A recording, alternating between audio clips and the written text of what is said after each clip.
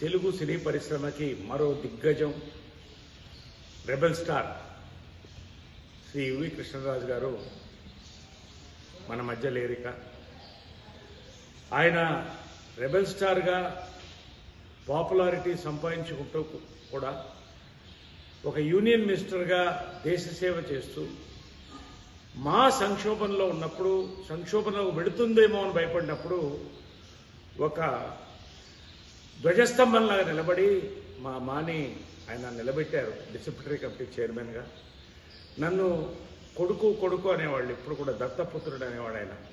వాళ్ళిద్దరు కూడా శ్యామలాదేవి గారు కృష్ణరాజు గారు కూడా నాకు తల్లిదండ్రులు లాంటి వాళ్ళు.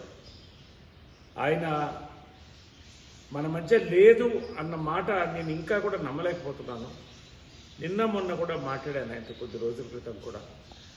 ఆయన మా కుటుంబానికి ఒక ఫ్యామిలీ ఫ్రెండ్ కృష్ణ గారన్నా విజయన్ల గారన్నా నేనైనా మహేష్ అయినా అందరంటే చాలా ఇష్టం ఆయన ప్రీతి.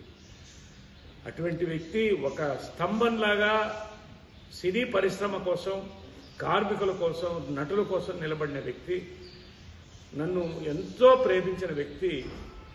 మమ్మల్ని విడిచి వెళ్ళిపోవడం అనేది మా మనసుని ముక్కలు ముక్కలు చేసేసింది. ఆయన ఆత్మ శాంతించాలని ఆయన కుటుంబం అందరూ కూడా వాళ్ళందరి కోసం కూడా ప్రార్థిస్తున్నాను. శ్యామలాదేవి గారి కోసం అందరు కూడా కోసం పిల్లల కోసం. Thank you